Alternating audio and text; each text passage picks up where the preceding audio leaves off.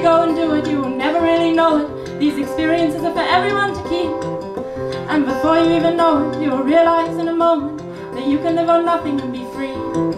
And you'll be free, free, free, free. And you'll be free,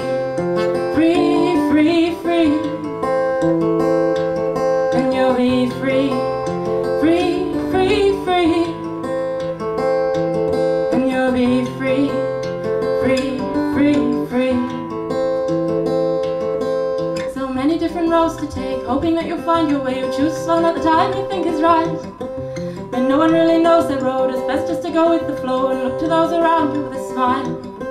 And only then when you let go of all that you've kept in, you know you'll realize in a moment that you're free. And you'll be free, free,